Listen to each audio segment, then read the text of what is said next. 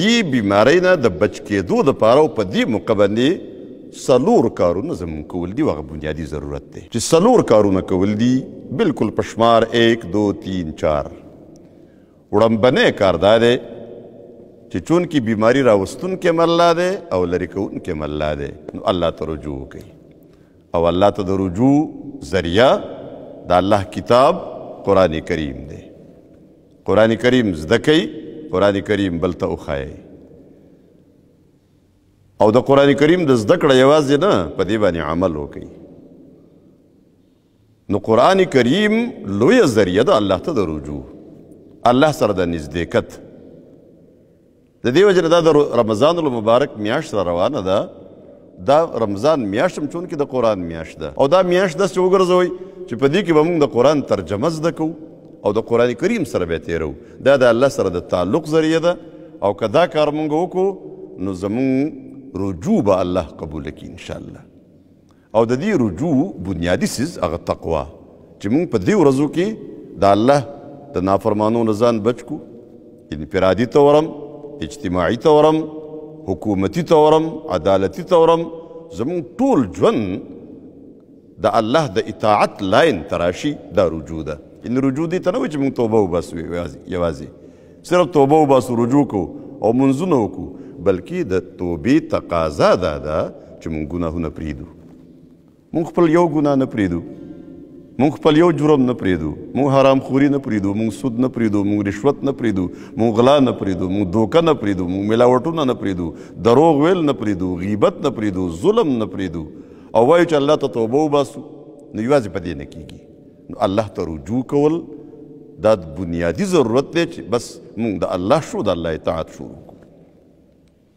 دویم کار په دې کې موږ د هغې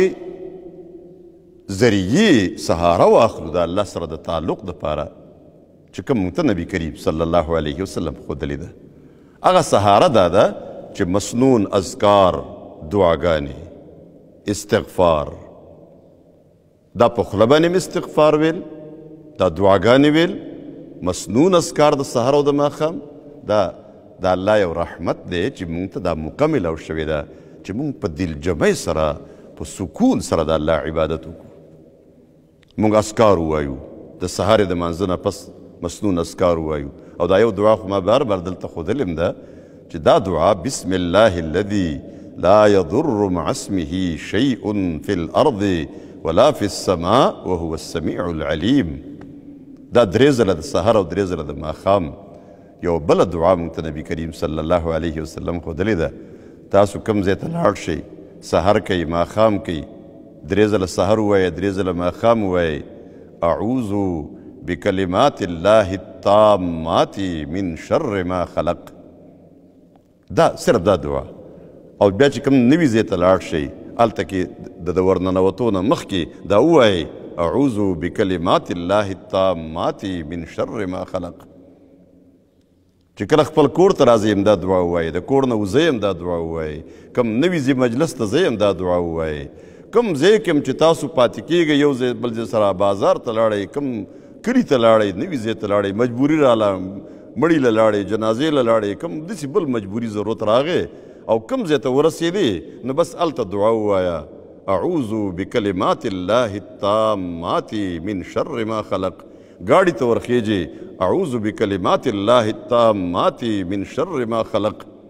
دا دوه دعاګانې خپل وظیفه جوړه کړئ د دې نننۍ خطبې کې چې کوم اسکار مونږ وښودل نو دوه یو مخکې ښودل شوی دی ورسره دا دویم دا مسلسل خپل وظیفه جوړه کړئ ان شاء الله العزیز الله تبارک وتعالی به د هر آفت نه د هر حادثې نه دا د نبی کریم صلی الله علیه وسلم ضمانت دی موږ محفوظ ساتي او د دې سره مسنون نور اسکار د قران تلاوت دا ټول شامل کړي دریم سیز او هغه ډیر بنیادی او اهم سیز دی د ټولو د دې سلورو کې د دې سلورو اړونه کې په نسبت سره زیات اهم شی هغه دا دی چې د کرونا وایرس چې کوم خوف تاری دی دا خوف لري کوي دا خوف بالکل هیر کوي دا یو بیماری ده او بیماری راوستون کې مله ده او لري کون کې مله ده او دا یاد ساتي دا تاسو ته دا زما عقیده ده او زما یقین دی په دې باندې او د مؤمن د پاره په دسی سخت حالاتو کې د مؤمن عقیده ګورې کار کوي عقیده برابر کوي خپل قران کریم موږ ځکه زده کول ضروری دي قران کریم زموږ عقیده ټیک کی عقیده دا ده چې د چا مرګ په کم وخت مقرر دی د کم شي نه مقرر دی په کم ځای کې مقرر دی دا به هم هلته کې به مرګ راځي د هغه شي نه به راځي د هغه سبب نه به راځي د مرګ فیصله د الله اټل ده دا اجل مقرر دی په دې کې هیڅ تبدیلی تقدیم تاخیر نشي کېدی چې د مرګ نیټه دې نه راغلی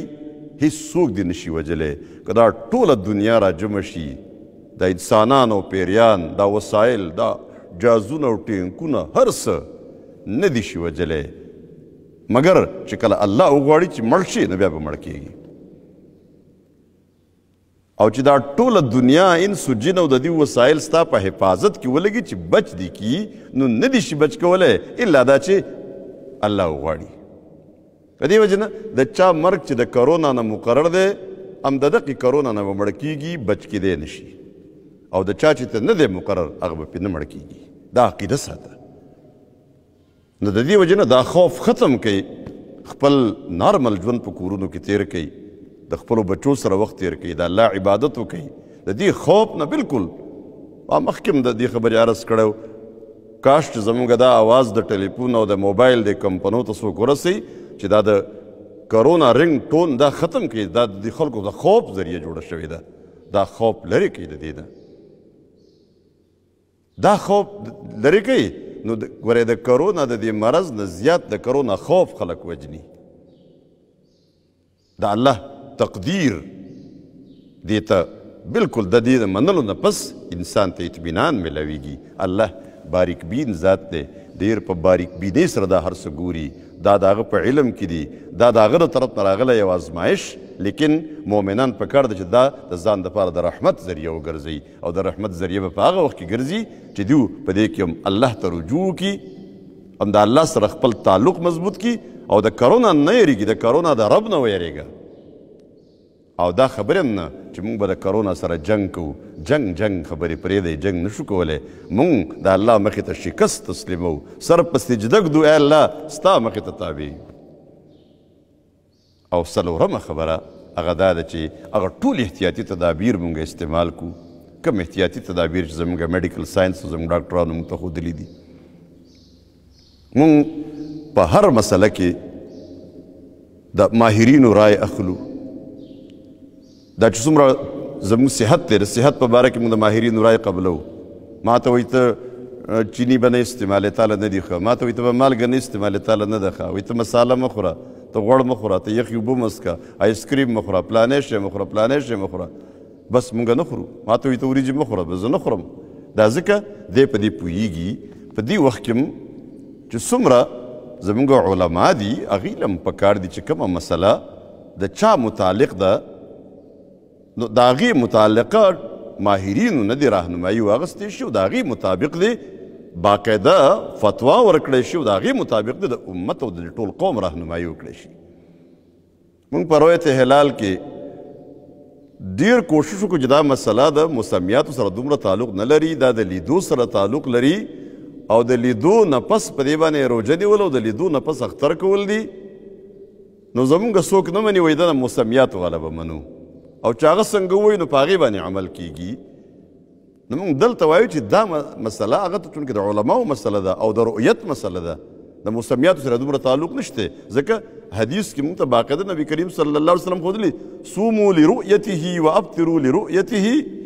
نو د موسمیاتو علم وروسته دی دا د الله نظام دی او د هغې په رؤیت صفا خبره وکړه لیکن موږ په موسمیاتو پسې ګرځو او د هغې خبره اورو دلته میاشت ولیدی شي وایي نه نه موسمیات والا وایي چې نه شي لیده کېدی لیکن په دې موقع باندې هم د ډاکټرانو خبره د میډیکل ساينس خبره منل پکار دی او د هغې چې کوم احتیاطونه دي سوشل ډسټنس دا چې کومه خبره ده د یو بل سره لږ ونه جدا کېدل په کورونو کې دننه کېناستل غټ غټ اجتماعاتو نه پرهېز کول د بدن صفایي اختیارول لاسونه اینځل د چینک او د پرنجي په وخت کې ټیشو پیپر یا رومال خولې ته نیول د خلکو مخې ته نه ټوخېدل د خلکو مخې ته خراج کیو نه توکل لاړې نه توکل دا هغه تدابیر دي چې د دې سره به الله تبارک وتعالی دا مرض زموږ لرې کړي کوم تدابیر نه استعمالو دا اسباب چې کوم موجود دي دا نه استعمالو ظاهره خبره ده د خودکشۍ مرتکب جوړیږو په خپله نو پکار ده چې موږ دا ټول احتیاطونه وکړو دا څلور کارونه الله ته رجوع د مسنون اذکارو څخه راغستل د کرونا نه نه یریدل بے خوف ژوند تیرول او احتیاطي تدابیر ټول اختیارول ان شاء الله العزیز الله به ډیر زر زموږ دا مرض لري کی او مسلسل په دعاګانو کې په تهجدو کې په نوافلو کې